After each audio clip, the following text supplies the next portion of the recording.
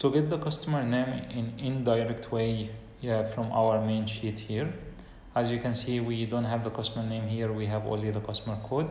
However in our VLOOKUP sheet we have the customer name here in this area in front of the customer code.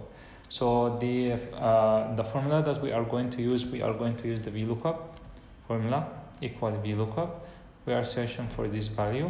Then I will fix it by pressing F4 twice comma then I'm searching in this range in our main sheet range A to D. I will fix it also F4 comma the number of the customer code column it's number 4 comma 0 close the bracket then enter.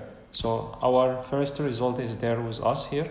So before this result before this formula that we used we can type another VLOOKUP and at the end after the closed bracket of the first VLOOKUP we will press comma we'll enter comma.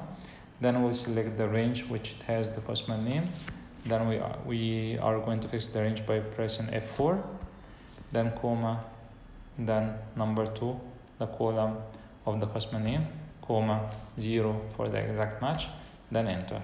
And we got our result. Now we can copy paste this formula to the rest of the cells and we have our values here